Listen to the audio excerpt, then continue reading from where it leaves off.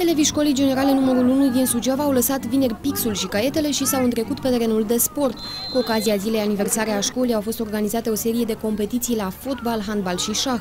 Cu ocazia zilelor uh, aniversare ale școlii numărul 1 Suceava am uh, organizat uh, timp de două zile competiții sportive la nivel de gimnaziu și ciclu primar.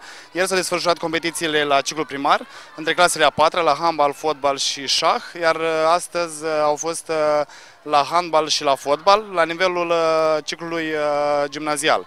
Meciurile de fotbal au ținut capul de afiș, atât în rândul jucătorilor cât și al suporterilor, echipele fiind încurajate puternic din tribună. Uh, sperăm copilor le-a plăcut, vedeți și dumneavoastră sunt într-un număr foarte mare pe terenul de sport, de obicei sportul atrage toată Uh, toată lumea.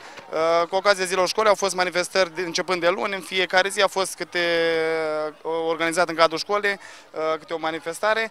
Astăzi este ultima zi, ne pare rău că s-a terminat foarte repede. Astăzi copiii au avut doar sport, nu s-au făcut ore, au avut o zi mai liberă, au simțit și ei că este sărbătoare. Competiția s-a încheiat cu un meci demonstrativ între campioana școlii de fotbal, clasa a 8 B și o echipă reprezentativă a școlii formată din profesori.